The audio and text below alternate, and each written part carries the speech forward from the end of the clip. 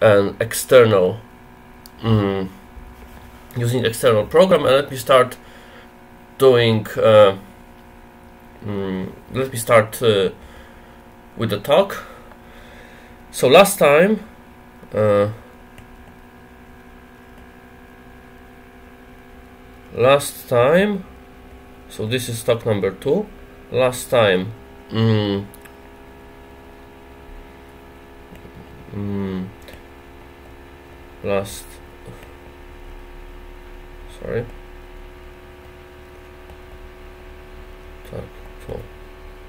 Last time we discussed Morse functions. And I recall you Morse, a Morse function is such that if f goes from m to r a manifold to r and z is such that df of z is 0 then d square f of z is invertible. Or non-degenerate has uh, non-zero uh, has non-zero determinant. Um, uh, during the classes we uh, said that this uh, this is a matrix and the matrix is uh, mm, this matrix is uh, in local coordinates and we said uh, we proved during the classes that this is non-degenerate. And then we introduced gradient. So let me briefly recall. I have M I choose G and G is a Riemannian metric. That is a choice of a scalar product in txm for each x. So choice. Then we have df goes to tx of x goes to txm to r. So df of x belongs to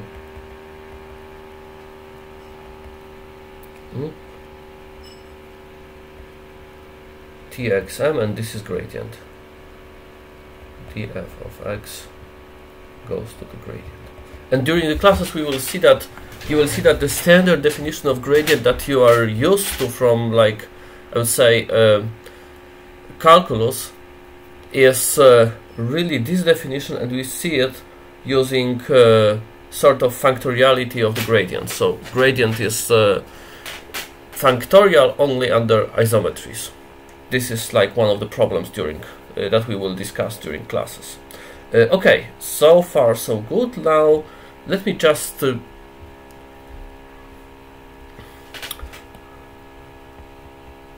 uh, how does gradient f look like near a critical point? So let C be a critical point then by Morse lemma so Z is such that df of z is 0 Morse lemma f of x1 xn so by Morse lemma there exist local coordinates near uh, near z such that this is equal to f of z, z minus x1 square minus minus xk square plus xk plus 1 square plus xn square and this k is the index. Alright so that's what we get. And now of course uh, we would like to compute the gradient but we don't know about these coordinates. So first and that's like the most natural thing to ask assume d hmm, x1 xn are orthonormal. And by this I assume that the, the matrix is standard in these coordinates. If you prefer a more uh, more concrete, then you just say that dx1 dxn form an orthonormal basis of Txn. So this exists locally, so we can assume for a moment that this matrix has this property. So how do you proceed? Normally you take, you have a Morse function and then you adjust the gradient vector field for this function. Uh, so that's the uh, uh, that's the way uh, uh, you work. And then if this is an orthonormal then you just from this formula you get a standard form um, that the gradient vector field is equal to 2 minus x1 minus x2 minus xk xk plus 1 xn. Okay? This is uh, the most annoying tool in Morse theory so uh, you can start counting whether I forget about this tool an even number of times or odd number of times, but definitely I will. Uh, you've been warned. Mm, it doesn't affect anything, it's just speeding up the, the vector field or slowing it down. So, uh, if we have a situation like this, we have a lot of, uh, let me just copy this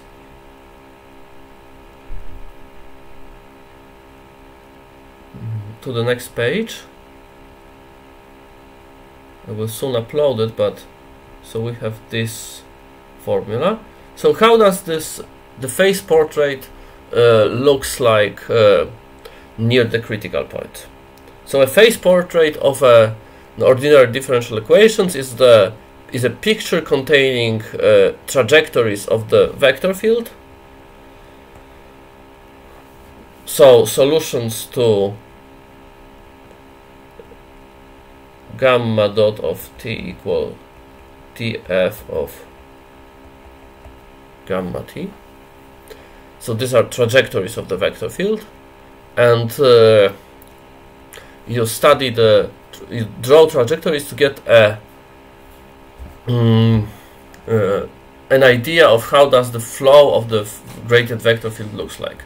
So Morse theory is mostly about flows of uh, um, of uh, of the gradient vector field, and then I will slightly generalize this notion. So, what is the local form? Well,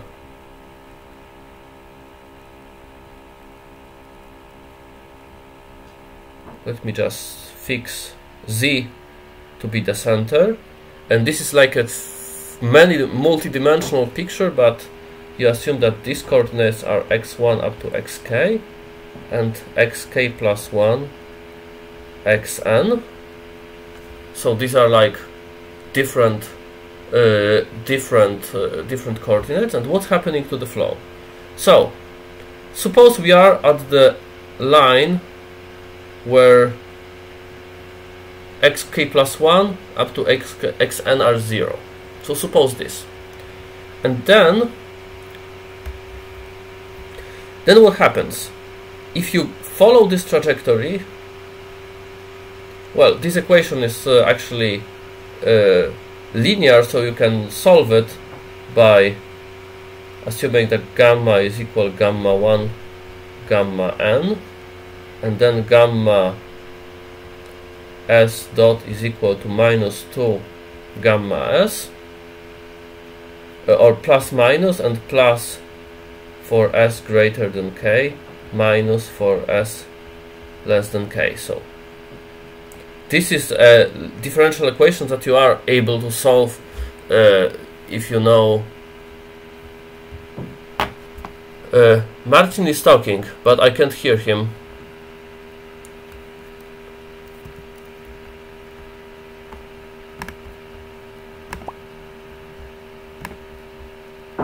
Uh,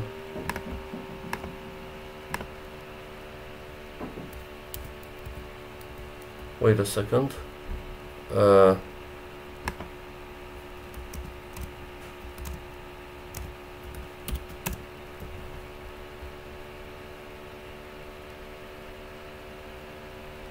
uh, Uh, okay. Mm. Just trying to check, but I can't. Uh, oh yes. So meanwhile, I would like to ask the question. Yeah. How did we actually use the orthogonality? Well, you have to pass from. You have to compute the gradient, and the gradient requires a metric. Okay? So normally, if you are local in local coordinates, you can say that this is uh, uh, equal to 2x1 minus 2x1 minus 2xk 2xk plus 1 2xn but these are coordinates. This is an object in the cotangent space like in the dual space space of functionals. You have to pass from the space of functionals to the space of uh, to the space of vectors. That's that's a, that this is a subtlety. You need uh, you need to have uh, local core you have you need to have a metric to pass from the dual space or to identify the space of functionals with the space of vectors. And that's why we need to have orthogonality. Because you can choose another metric. And then your gradient vector field will be different.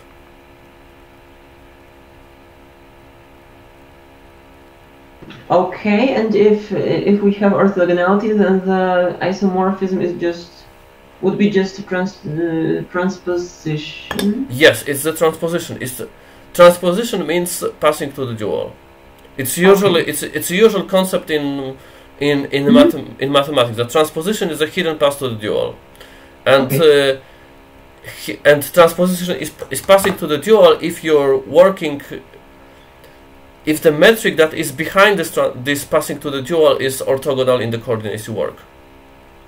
Mm, mm. Okay, that's why if you change the basis uh, of uh, mm, of a matrix, you you you use congruence, but if you change the basis of the form, you use uh, you use uh, uh, how it's called uh, you use conjugates, or the other way around. I always switch this uh, these two notions, but this one is with inverse, one is transposition, and then that's But This- uh, what is the because the, iso- the isomorphism between the, the tangent and cotangent space uh, works for any Riemannian metric, yes. not only for an orthogonal metric. Yes, so we assume that it's or that uh, well for a metric is not orthogonal. Orthogonal is a local coordinate system. We assume that this is a local coordinate that this local coordinate system is orthogonal because we want to we, we, we want the computations to be simple, as simple as possible. Okay, so we I, I mean, uh, again, what, what, would happen if the bases were, were not orthogonal? Because I still can't see it. I mm, mean, I see that it's that we can just transpose, but why can we transpose? Uh, what what's the problem with transposing if the bases were not orthogonal? if the basis is not orthogonal, then you can transpose, but it's different. Uh, well, okay, uh, the gradient would have different shape. It would be defined, but it uh, would have uh, different shape. But this formula wouldn't work, wouldn't be true because if it's suppose like that, the length of x1 is equal to five. So this, so the the length of dx1 d, d over dx1 is equal to five. Then in here, you will have either one fifth or five. I don't. You just need to compute it. Yeah, I see. Thanks. Okay. But we chose orthogonality because we want the and to understand the mm, the the situation and actually in the in most of the applications we will assume that this these Morse coordinates are orthogonal so that we choose an appropriate metric after uh, after pass after using Morse lemma. And uh, you see if it's simple then mm, mm, if the coordinates are simple then like trying to study trajectories of the vector field so solutions to these ordinary differential equations this splits into a n tuple of uh, linear ODEs in one variable which you can easily solve by saying that gamma s of t is gamma s of 0 e to plus or minus to t. Okay, that's you just uh, just write a solution. But instead of writing a solution, let's understand what happens.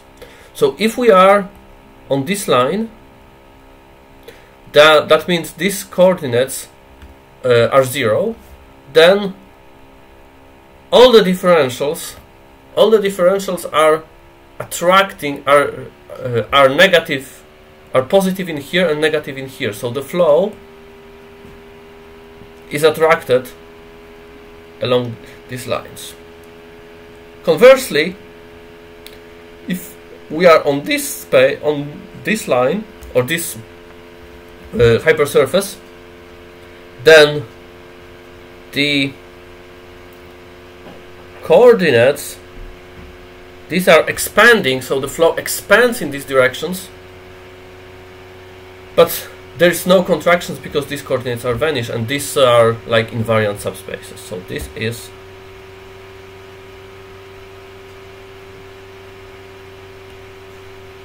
and of course if you are somewhere here then the trajectory looks like this.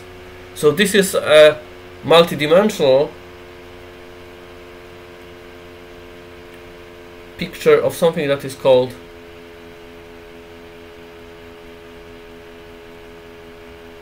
a saddle point. So this is the way the trajectory looks like for near the uh, near the uh, uh, near the mm, near a critical point, and we will come back to this uh, mm, to this uh, mm, picture in a few moments. Uh, Mm, because we want to have uh, well if you can prove that it will look similarly if you're using different gradient. If you use different uh, if you use different gradient because choosing different uh, uh choosing different uh, because the uh, the gradient vector field in different matrix will have will have non non-trivial linearization in uh, near local coordinates and you can always use uh, uh, Hadamard-Perron theorem about uh, conjugating with uh, with this kind of flow. However, um, Hadamard-Perron theorem gives you only um, only C0 conjugate. Here, if you have a Morse, if your Morse function is smooth, if you choose an, an appropriate metric, then your Mm. uh, you're uh, you're done because you have all the shape, all the picture of the the whole picture of the of the gradient vector field is uh, preserved without uh, without uh, referring to some very difficult theorems in ordinary differential equations. Okay, so the choice of the metric is like for is very handy for for us, but it's also very mm, uh, because we just write down to the gradient, but it's also very, uh, it also uh, allows us to avoid a lot of um, uh, a lot of complications. Okay, so we leave the mm, mm, we leave the singular point for a moment and uh, we will prove now the first the oh, second theorem, uh, which I usually call theorem about nothing. And the theorem about nothing can be phrased in a different way. And my favorite way is if nothing happens then nothing happens. And more seriously,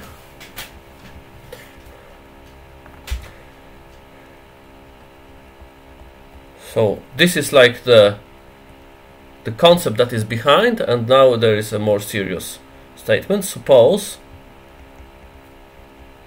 MR is uh, a Morse function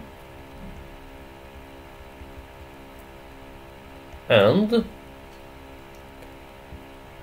AB in R are such that F has no critical points in F inverse A B. Okay? Which means that nothing happens.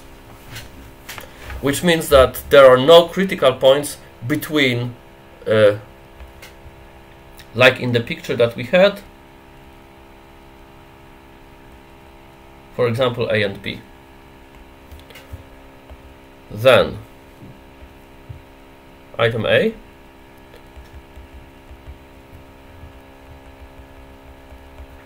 f inverse of A is uh, is diffeomorphic to f inverse of B, P, f inverse of minus infinity A minus infinity B. Okay? Now the theorem seems obvious. When you see this picture then you see well the level sets are level sets are the same. But I will give you a proof, and the proof is uh, the proof is more important than the theorem because the theorem we will you will think about it that if nothing happens, then nothing happens, and you will mostly ignore this theorem throughout uh, uh, your uh, journey through Morse theory. But the proof actually is more uh, is more complex. Let me just uh, didn't it just override it.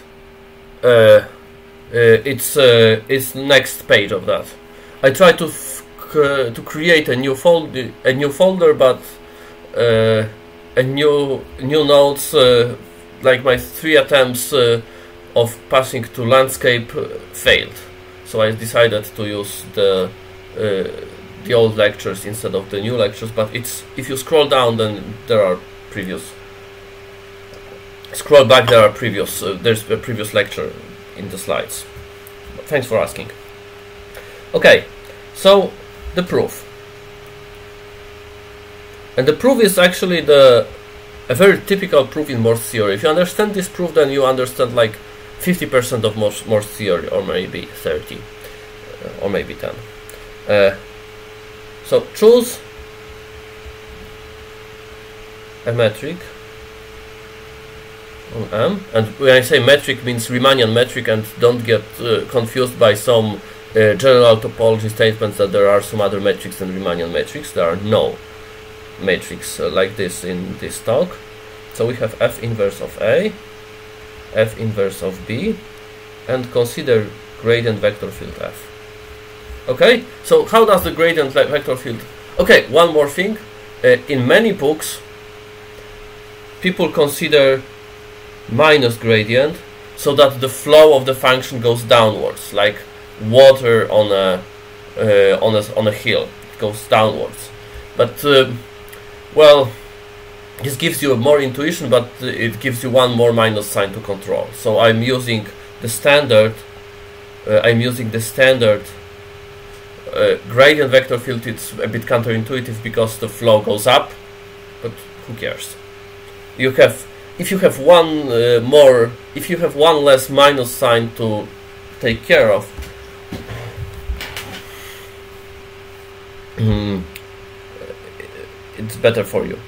Okay, so what is the what is the idea? The idea is that you start with at this point and uh, you look at the trajectory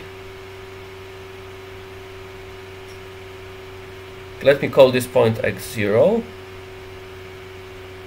gamma that is the solution of uh, if you're not familiar with dot then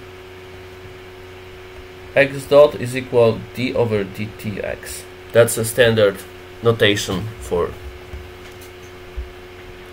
uh, that we're going to use and dot gamma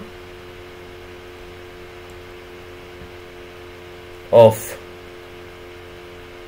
t is equal to the gradient f of gamma of t. So we go along the gradient vector field. Okay? Now we claim that we are going to reach that at some finite time we are going to reach this uh, the top. Okay? So how can you prove that we're going to reach the top?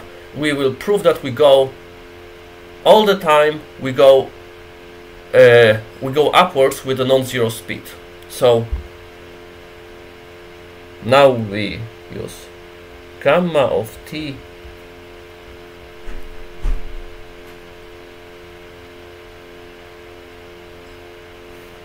So how should I, should I proceed? Uh, I will choose one more. Choose c greater than 0 such that the norm of gradient of Cx is greater than C for all x in F inverse of AB. And I'm, all, I'm always allowed to choose this C because I assume that there are no critical points of F in this region. So my M is compact, so that's I what I always assume here. If I don't assume that it's M, is compact, then it's uh, not. Uh, mm, then I will tell you. So M is compact. So a closed subset is a compact subset. A function that is uh, that doesn't attain zeros, and this function doesn't attain zeros because we don't have a critical point, is bounded from below by a positive constant on on this space. So you can always choose it. And now look at this expression.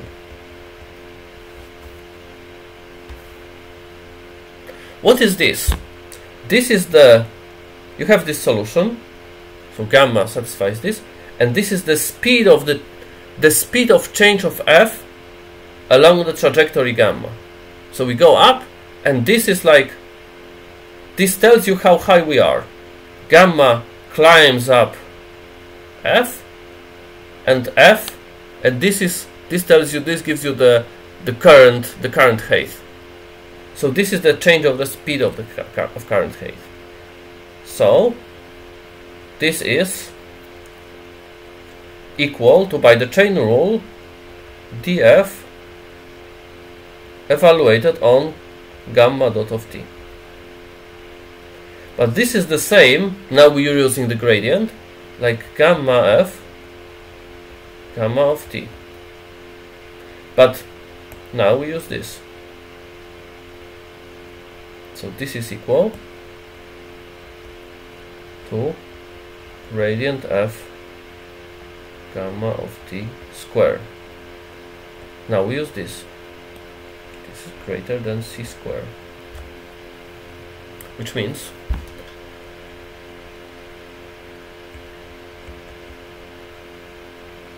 after time b minus r over c square the trajectory will have reached the level set f inverse of p. Okay? So that means that we, when we start we reach the top in finite time. This uh, is uh, like one thing that I would like to emphasize probably the most that why do we bother about finite time? Well, there is a statement that uh, about I will pass to the next slide in a moment. Uh, just just to slow down, I will explain to you. Mm -hmm.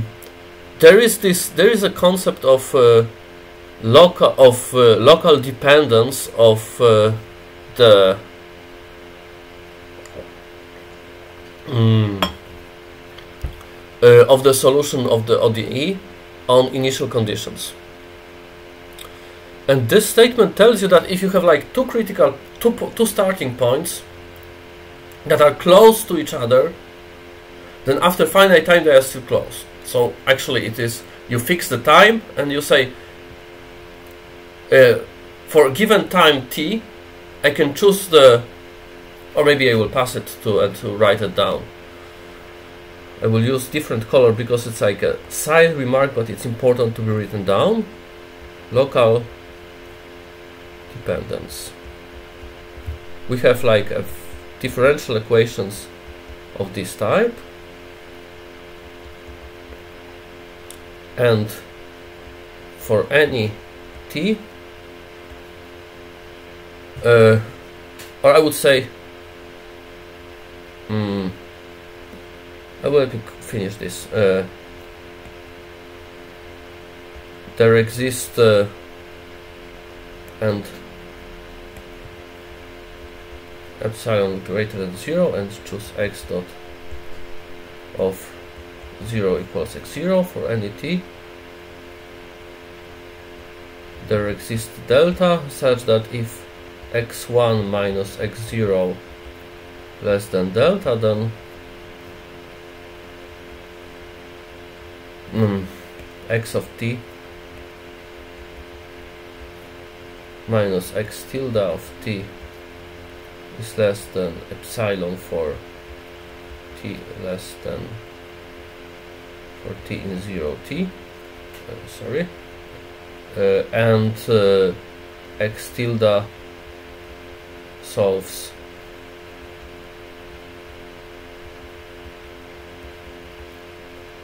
X tilde of 0 is x1 so what I wrote here is that for any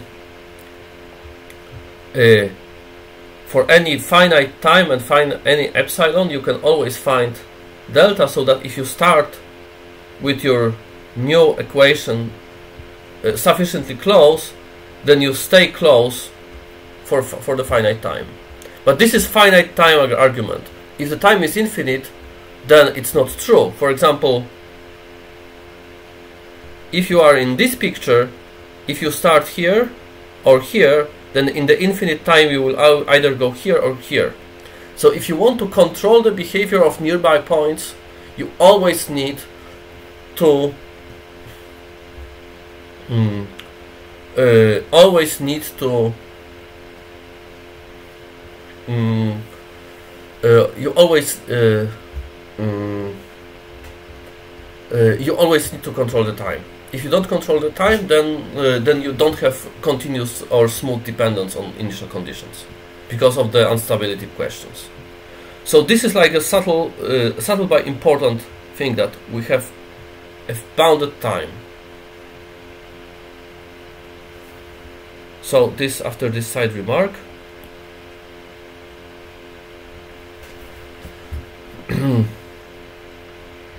by theorem on local dependence on initial condition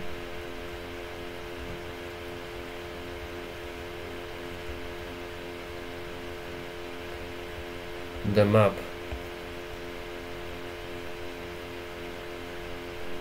mm. The map x0 goes to x1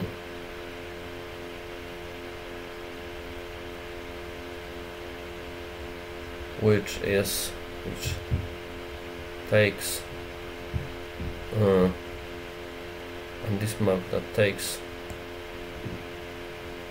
that takes x0 to the point x1 at which the trajectory. Through x0 is mm, hits. F inverse of p is a smooth map. Okay? So here is x0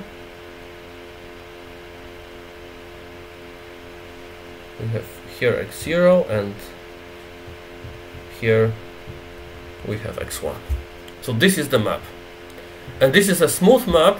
This is of course a bijection because uh, well this is a smooth map. This is uh, an uh, uh, one-to-one with its image because uh, the trajectories don't cross and don't glue by the uniqueness and by the uniqueness theorem.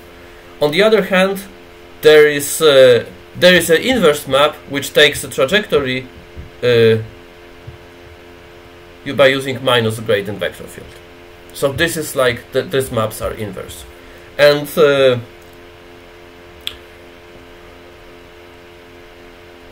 for this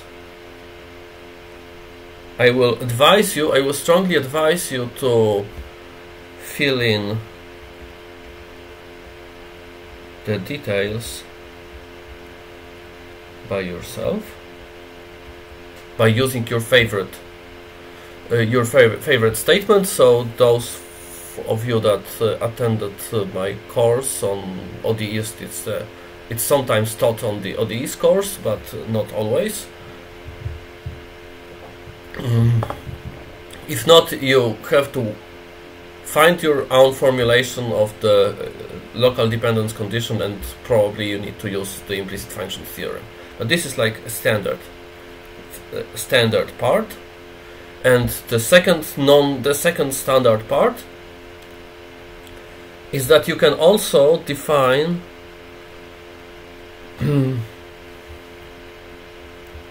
we can construct the diffeomorphism diffeomorphism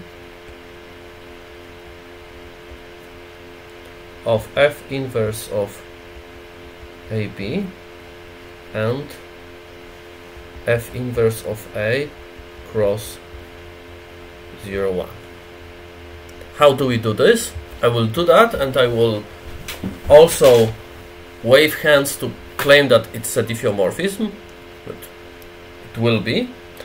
So mm, mm,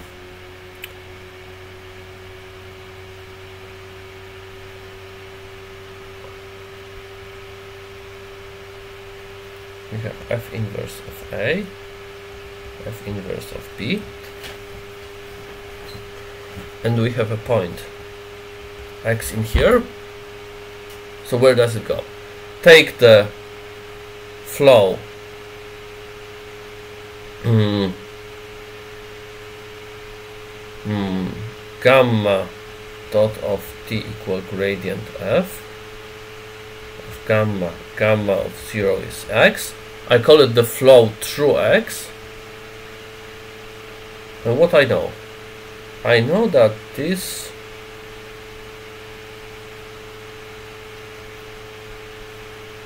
hits uh, an element x0 here, x1 in here, and moreover,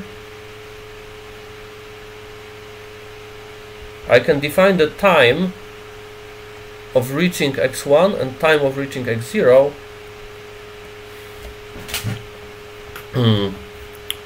by in such a way that mm, gamma of t0 is equal x0 so t0 is less than 0 gamma or less or equal gamma of t1 is equal to x1 t1 is greater than 0 so my diffeomorphism phi so this will be the diffeomorphism. My diffeomorphism phi takes uh, x to x0 and now we choose uh, minus t0 over t1 minus t0 so this belongs to f inverse of a and this belongs to mm, belongs to mm, this is any this is belongs to the interval 0 1 because uh, t t0 is somewhere between uh, t, t t0 is negative okay so this is like minus t0 t1 so again again we prove that this is a diffeomorphism. Of course, this diffeomorphism de depends on the uh, uh, depends on the choice of the gradient. So it depends on the choice of the metric. And actually, it's not a it's not a, bug; it's a feature. We will use this concept and try to use this concept for uh, by uh, when we will discuss the Morse-Smale condition later on. For the moment, this this choice of diffeomorphism is well. It's not canonical. It's not natural. It's it's obvious in this the formal sense. It's like obvious uh, once you've chosen the gradient. So we prove, and by saying we prove means uh, try to figure out by yourself. This is a standard exercise on ODEs, and we will do that during the classes if you want. Uh, so now there is this uh, proof of the second part of the theorem.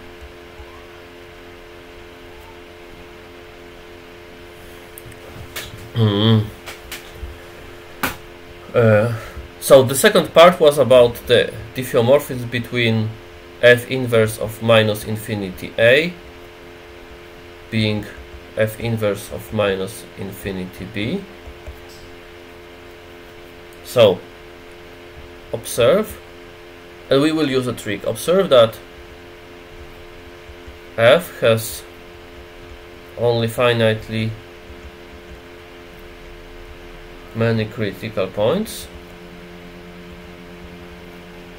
So this is a question. Why? And if you ask yourself why it has finitely many well the answer is because it's compact and because we can use the uh, Morse lemma for example uh, we have a function mm, uh, m uh, we have a manifold m. We choose at each point we choose a neighborhood where the local where the Morse lemma holds at each critical point. So we take a ball in local coordinates take a smaller ball. So the big balls the big open balls big open balls and complements of small closed balls and the, compl the complement of the small closed balls gives you a cover of M and it's a finite cover and you pass to a subcover but it's it has to be a finite subcover so it's uh, mm, mm, so there there is finitely many critical points. It's like a standard pretty standard argument. Once you have because you have local control of the of the critical point they cannot accumulate by Morse lemma so has only finitely many critical points. And so hmm, hmm, the set of critical values is finite. Well that's no choice not to be finite in particular closed. We have the interval AB that is disjoint from the set of critical values. So actually we can like make it a bit thicker always.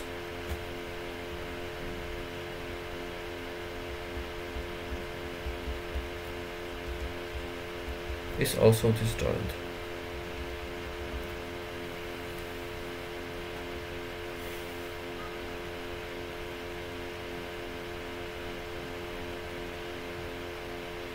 Okay, so now what we do?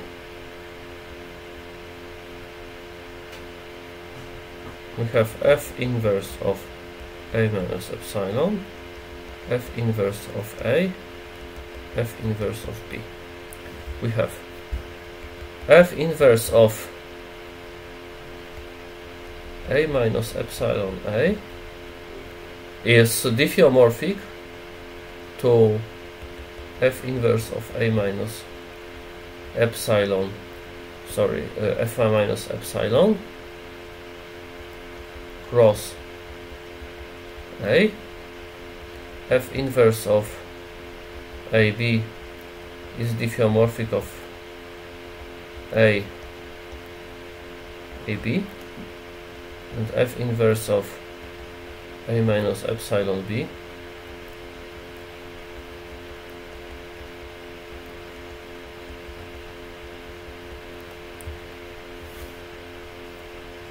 Okay that's uh, what we have on the on that page. This diffeomorphism and I didn't tell you but you can realize that the top goes to f inverse of a1 so this diffeomorphism is actually mm, compatible with the first diffeomorphism. Okay so now how do I prove that this guy is diffeomorphic to that guy? Well I write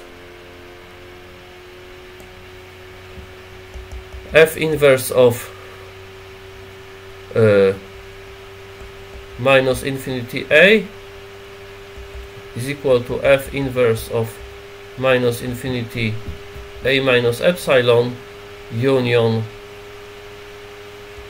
a minus epsilon a cross uh, sorry first. F inverse of a minus a cross a minus epsilon a. F inverse of minus infinity b.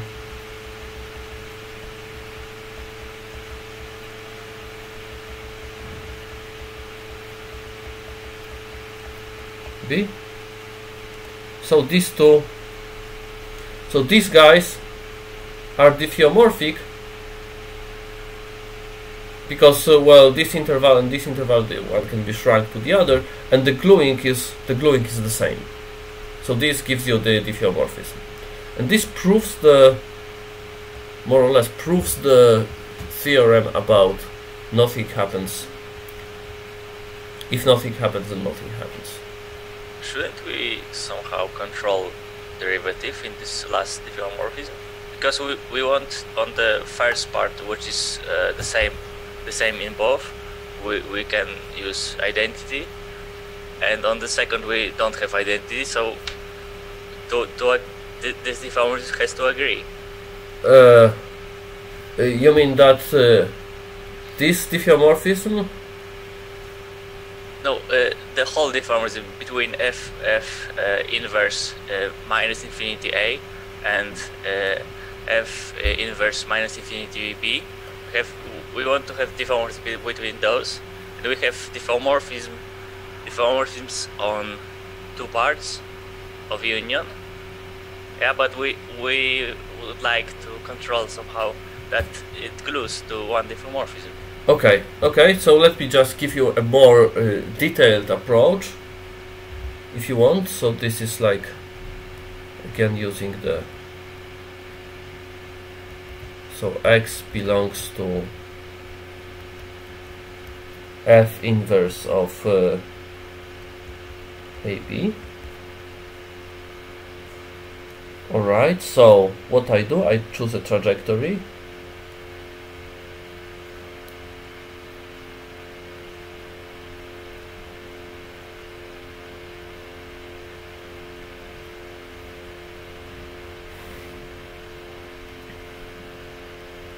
Define it t0 t1 and t2 uh, sorry let me just write it this way.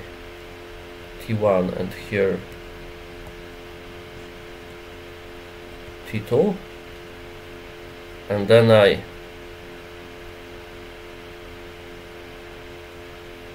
I would like to choose uh, to map x and this is x0 or maybe I don't even need x0 so I want to map x uh, so gamma dot of 0 equal x gamma dot of t is minus gradient. Let me just think. X will go to gamma of hmm,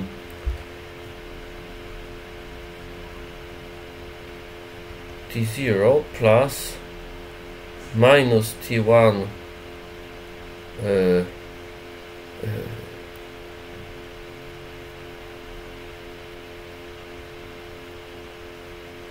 hmm.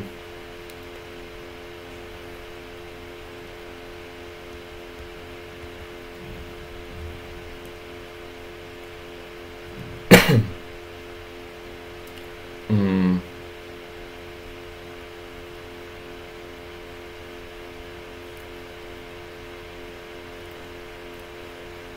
or maybe maybe we'll try we will shift the time okay so the formula will be more transparent if I assume that uh, the trajectory uh, the trajectory goes uh, this way. Uh,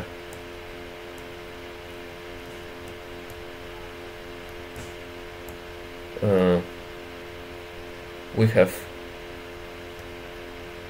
x in here but this is x0 and gamma and we have like 0 t1 t2 t3 okay? So I, I change I, I shift the time so that we get it. And then I map x to go to gamma of t2 times t1 over t3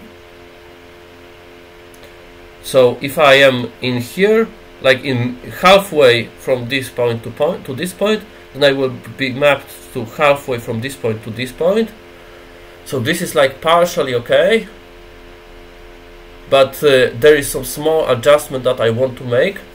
And the small adjustment if you want me to I can give you this adjustment is like mm, mm,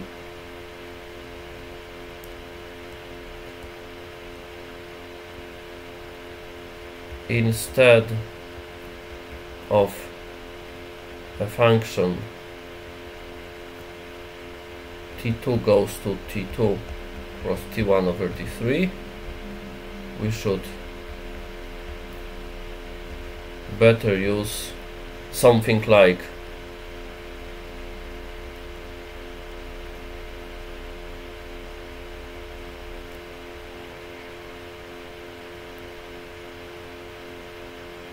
a function that is uh, mm, that takes uh, phi of t2 and phi maps uh, 0 t3 to 0 t1 and phi like uh, an increasing function phi is an identity near zero. Okay so we choose once and so this is like a technical step but uh, maybe it's uh, worth giving it. Uh, this is like the moral formula. The moral formula is like we shift a point we move it from here to here. Like proportionally by the propor rescaling it on the along the trajectory. Uh, that's a moral formula, but again we hit the same problem that Piotr uh, noted a few minutes ago, namely that this is not smooth, this is not smooth near near that point here. So this is of course a legitimate diffeomorphism between this part and that part, but it doesn't need to extend to a diffeomorphism between the whole piece to whole piece because of non possible non-smoothness issues at this level set. Okay, so that's to avoid this we play a simple trick, and this simple trick is not using this diffeomorphism but using this rescaling, but using a like gentle rescaling that we rescale, not using a function, a naive linear function, but we use a function that is identity near uh, near the origin and it goes it rescales the segment 0t3 to 0t1 and then when we plug in this in into here then all of a sudden my diffeomorphism will become smooth will become the identity in some neighborhood of the of this line. So then it will be okay. So does this answer your question? Yeah, of course. Okay, so this is like a, and this trick you should remember. This uh, I uh, normally I try to avoid answering detailed technical questions, but this is actually the the trick that appears. Uh, mhm, mm, that appears a lot of time. So now let me pass to one explanation and one like rather important concept of uh, Morse theory before we pass to uh, the second statement along the along the line of if nothing happens then nothing happens then the second statement will be if something happens then something happens. But before we pass to it uh, we need to introduce one more concept and I will mm, uh, I try to personally I tried to avoid this concept for quite a long time, but uh, eventually I decided to to learn it, and it became quite useful. So let me just uh, give you a motivating example. Let's say we have like a, a function f over r2 to r. Like say f of x y is equal to x square y minus 3x or whatever else and you have the gradient f equal 2xy minus 3x squared. So that's a standard computation from mm, mm, from calculus and then you want to perturb the gradient.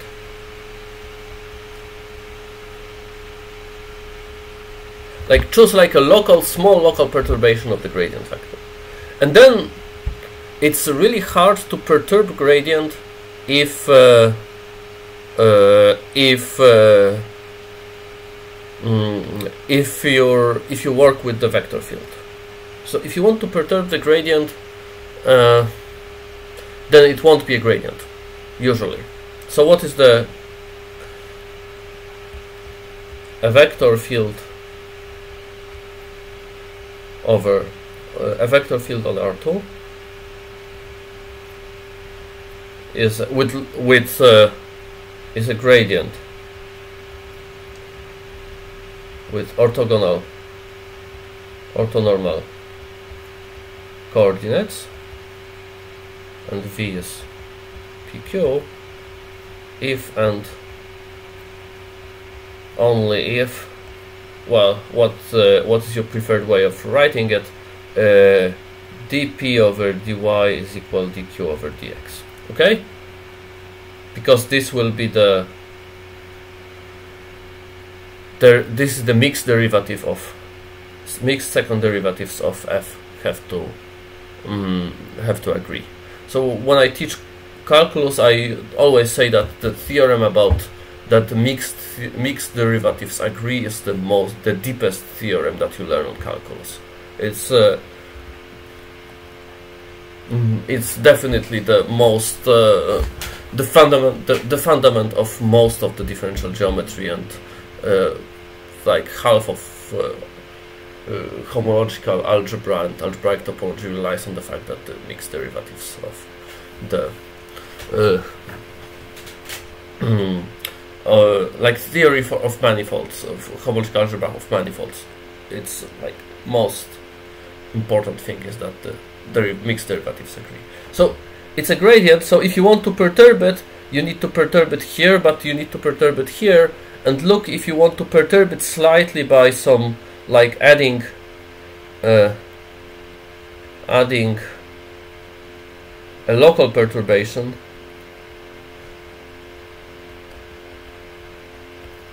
like 2xy minus 3x squared plus phi times um, some alpha beta where where phi is uh, a bump function so it's a function that is like concentrated uh, in some small neighborhood, like you want to use local perturbation, then you can this thing not only this gets out of hand, but also the mm, also the vector, also the function. If you perturb it, it can become a gradient of a function, but this function can, can be much different than the original function. You perturb it somewhere, but the gradient changes, and then the function is uh, the function is uh, uh, changed everywhere. And this is a, a phenomenon that you might want to avoid. So what do you do instead? So this is a motivating example. I slide. You ask maybe the definition of the gradient vector field is too rigid. Well, it is.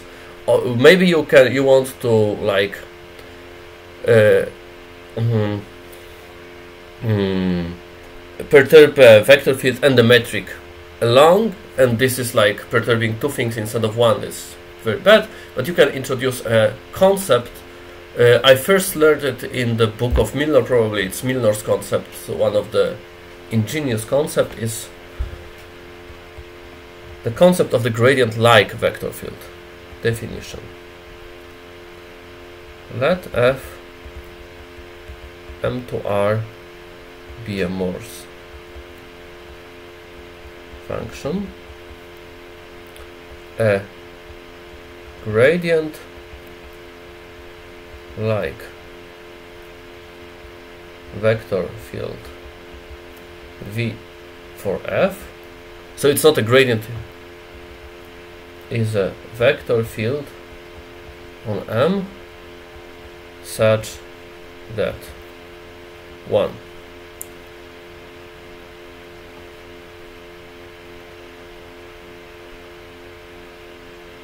at each critical point z there are local coordinates x1 xn such that well these are Morse coordinates. F of x1 xn is equal f of z plus minus x1 square minus xk square plus xk plus 1 square plus x square v of x1 xn is equal 2 minus x1 minus xk xk plus 1 xn okay so these are not fixed coordinates but in some coordinates you have these two thing. Like df of v is greater or equal 0 3 df of v of z is equal 0 if and only if v mm, uh, if of only if z is a critical point. Of f. So let me phrase what is this condition if you uh, if you're still at the at the level of thinking about gradients, then this can be rephrased as gradient f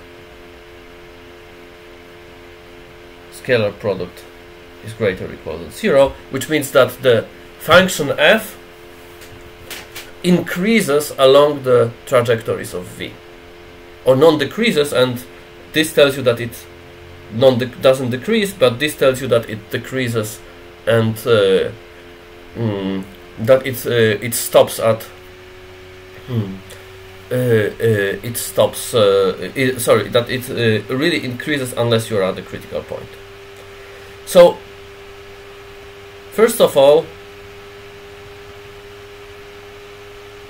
and this uh, inequality is for all the in the tangent space yes this uh, no no no no no what is this this is a gradient vector field v yes so this is uh, df. V is any arbitrary vector from the from the tangent space.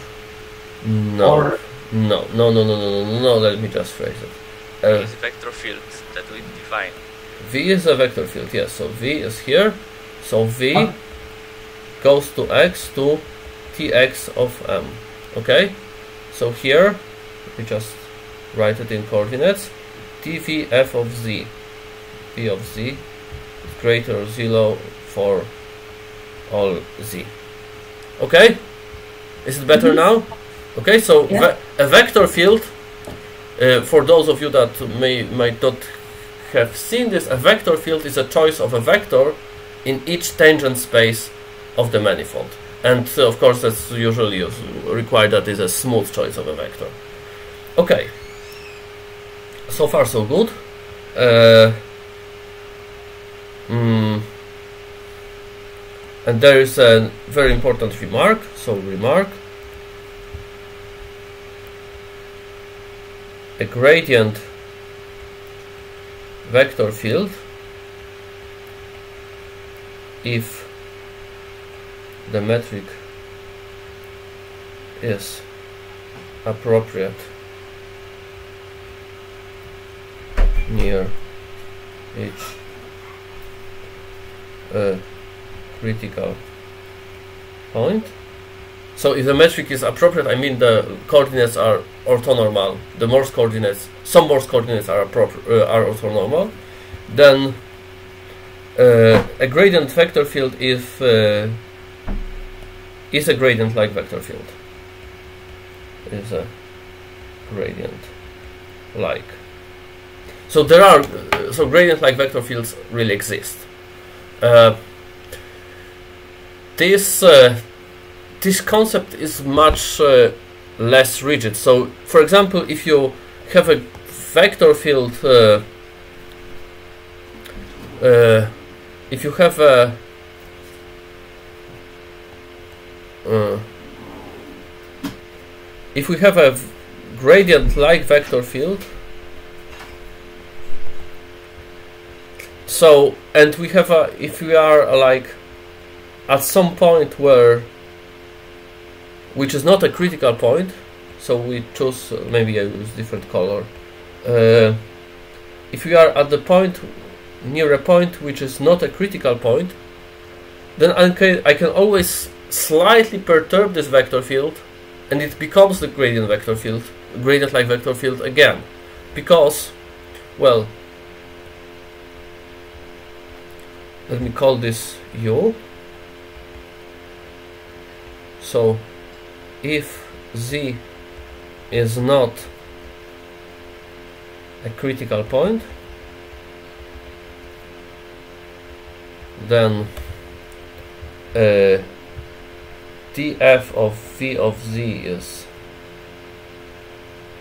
greater than 0 so df of v of z is greater than c in U. So I choose if I choose a small vector. Uh, so if it, uh, if in a vect in a neighborhood of z it's still non-zero and it's still and if since the closure of U is compact because I choose small neighborhood then its closure is compact, then I can always say that it's greater than c.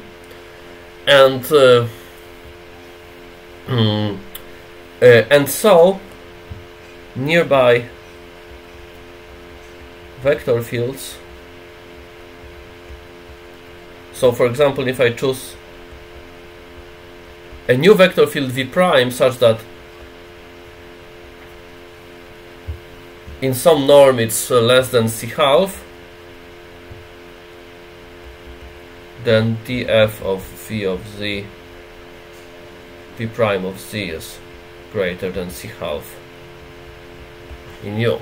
So I can, if I have a vector field, then I can uh, and then I can a gradient vector field. I can perturb. I can always perturb it near uh, in near a non-critical point.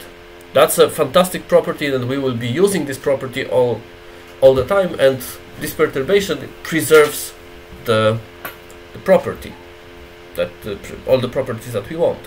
And of course, the whole proof of the theorem, like from here, it actually goes through if we replace the vector the gradient vector field by the gradient like vector field. We start to choose a gradient like vector field, and the only thing is that we uh, need to replace this argument by something a slightly but just a tiny little bit more sophisticated than what we used. So instead of this we should write like df of v is greater than c or whatever. I will I will leave it to you. And there is a actually a concept, uh, actually a theorem, or maybe it's which is quite worth recording theorem for any gradient like vector field V on M there exists a metric G on M not uniquely defined such that V is the gradient. Okay. Uh, the proof, uh, I will not give you the proof. The proof is really technical. Uh, I leave it as an exercise. Proof. Exercise. And if you have problems with uh, solving it, look at the paper of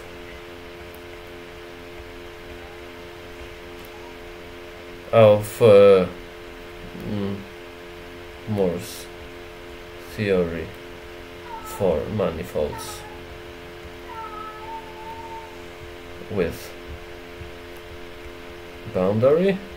So I remember writing down this proof, so it's uh, so it's there, but uh, I remember looking for the proof in many books and I couldn't find it. So it's like a small, simple statement once you know how to do it. Uh, basically, mm, basically the idea is to mm, define this metric locally. So take a point.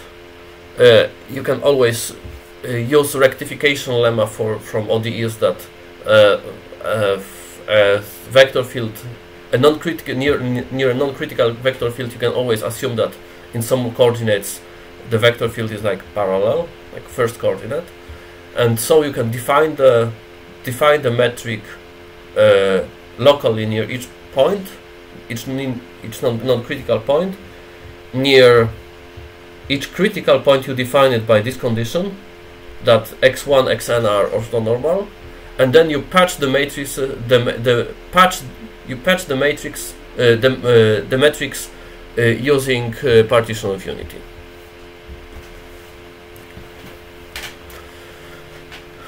Okay. So far so good. I was planning to tell you about something uh, about uh, a statement, uh, but maybe I will just uh, uh, Okay, here's a good moment to state a theorem, but I will prove it later. I will prove it next week. Uh, so there is a theorem which goes even further that if you have an appropriate gradient vector field, gradient line vector field, then you can uh, all you can even find a function and not just a vector field. So theorem. Hmm. uh, suppose V is a vector field such that 1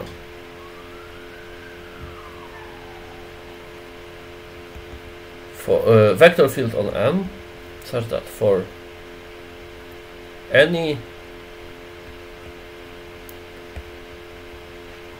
there are finitely many points. Z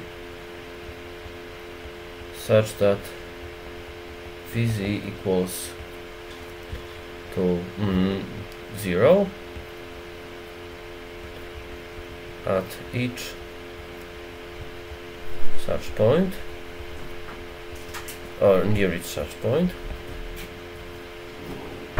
The uh, there are local coordinates x1 up to xn such that v of x1 xn is the annoying 2 minus x1 minus xk and k of course depends on z. K is allowed to change with uh, with the critical point uh, up to xn so that's the second uh, second statement which means that it's, it's local there is a statement there's a third statement. If uh, gamma of t is a trajectory of um, v then limit of t goes to minus infinity gamma of t. Limit t to plus infinity gamma of t exists and they are critical points.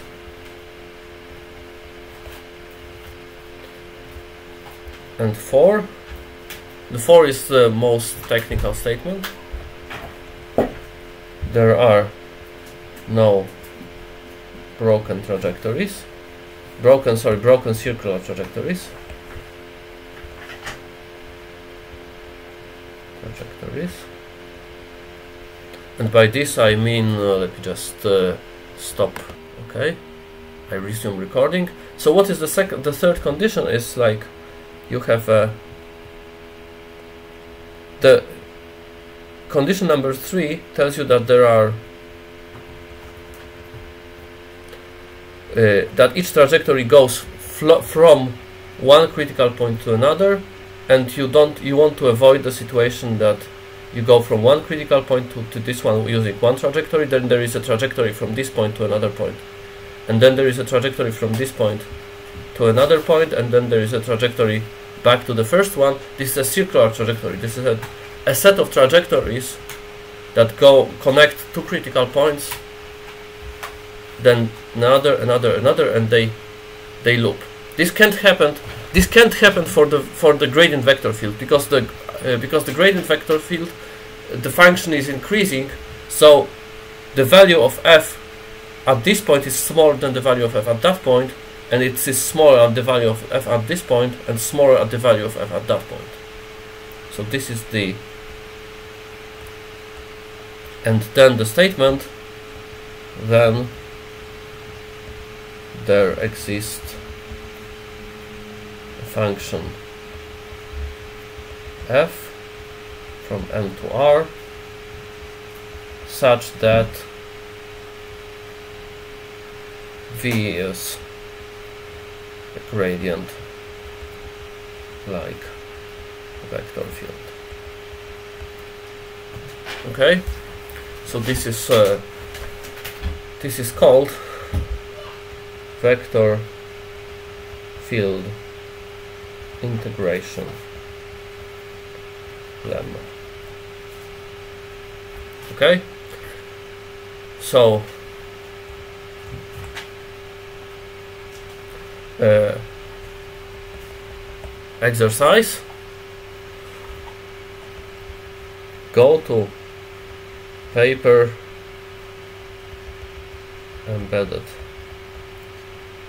Morse theory by Powell and find the mistake in the proof. So we wrote the proof of this theorem and uh, the proof was incorrect. I next probably next week or in two weeks I will give you a proof of that, a corrected proof of that theorem. It's uh, it's it really builds up on the concept that I told you today. So yeah.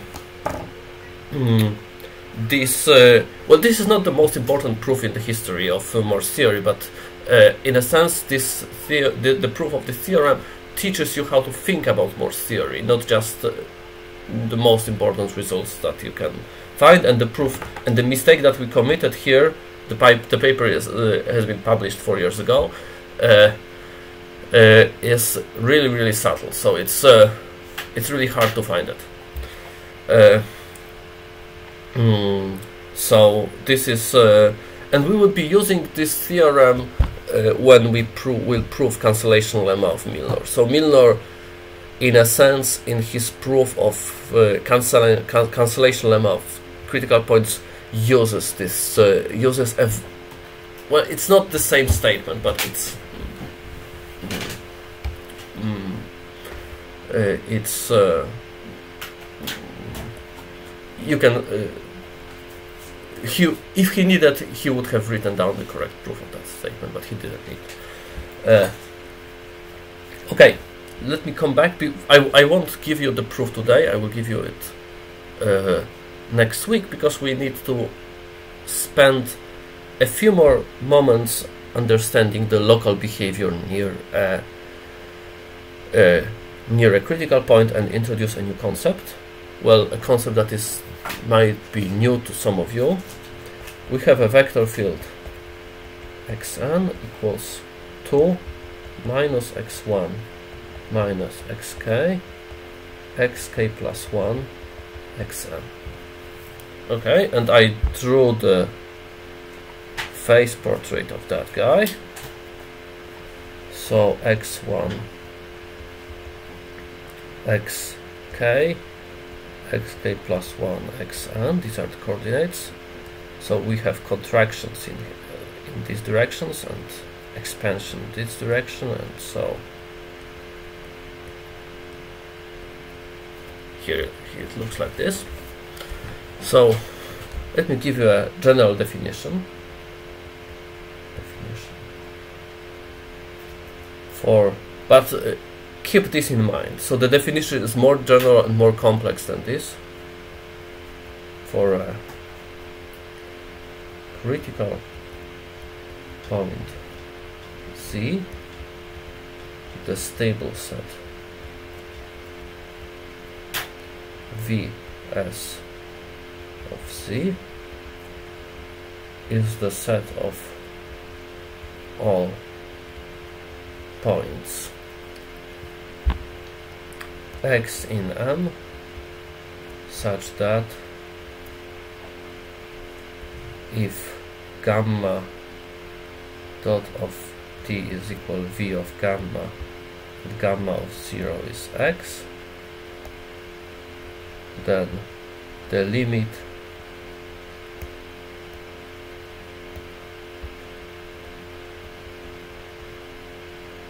gamma of mm, t is equal to z. Okay? So this is the set where that contains all points such that the trajectory from this point hits the hits z in the in, in infinite time. Of course, z is a is a critical or stationary stationary point of of uh, mm, of v so it can't hit it before the infinite time, but it will reach it in infinite time in the future. And the unstable set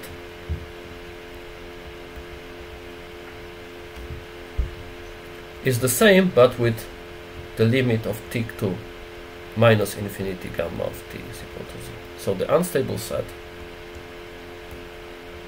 is here. And this is the vs and this is gonna be sorry ws and this is gonna be wu why I'm saying stable set? Well remark and the remark I think I can write it here. If uh, z is non-degenerate so, and uh, t square, sorry, t.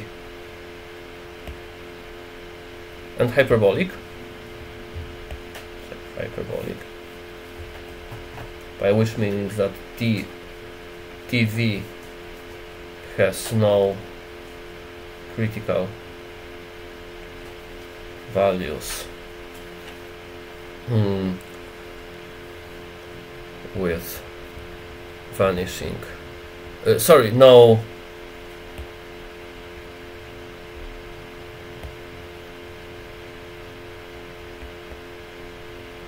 No eigenvalues. With uh, vanishing. Real part.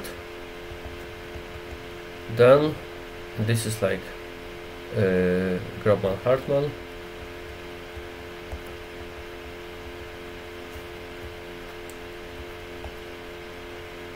WS of Z W U of Z are manifolds which is quite nice and they are called stable manifolds and unstable manifolds.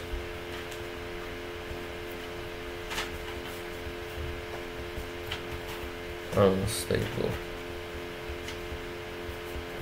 manifold. And uh, when we pass to uh, what at some moment we will pass to embedded Morse theory or maybe even immersed Morse theory and then this uh, uh, this will no longer be this will no longer hold. And then uh, this will not be actual manifold so we will not be able to use Grobman-Hartman theorem but then there is the but then in the that's why I started with saying that stable set and unstable set uh, instead of uh, writing uh, like writing immediately that it's a stable or unstable manifold. So this is the stable and unstable set. And then there is one important thing. We have uh, for gradient vector fields or gradient oh this should be the marker not the should be the pointer not for gradient vector field every in local coordinates everything is known. So we know what is the stable set and we know what is the unstable set. Because the stable manifold stable. Xk plus 1 equals equals xk equals xn equals 0 and the unstable x1 equals equals xk equals 0 so these are like in local coordinates these manifolds are in fact hyperplanes. Uh, so this is uh, the moment I will leave you with